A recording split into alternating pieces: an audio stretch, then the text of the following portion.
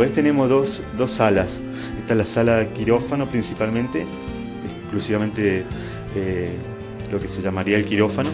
Y tenemos la otra sala donde tenemos el sistema de jaulas, que la ventaja que tenemos que, por ejemplo, eh, la persona trae el perro, le hacemos una preanestesia, ya lo ponemos en la jaula, los perros quedan ahí y de ahí eh, se le hace el corte de pelo, lo que se llama tricotomía, corte de pelo afeitado del animal, se lo pesa, se saca un cálculo de anestesia, se le hace la anestesia endovenosa, se lo trae al quirófano, acá se lo castra, una vez que termina la cirugía, el postquirúrgico se hace de nuevo nuevamente en la jaula, tenemos acolchado, frazada, donde los ponemos, los tapamos y los vamos controlando. A medida que se van despertando, porque se despiertan muy rápidamente después de la cirugía, eh, ya va llegando el dueño y ya los va retirando.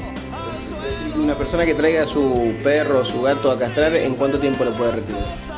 más o menos en una hora. En una hora lo va retirando.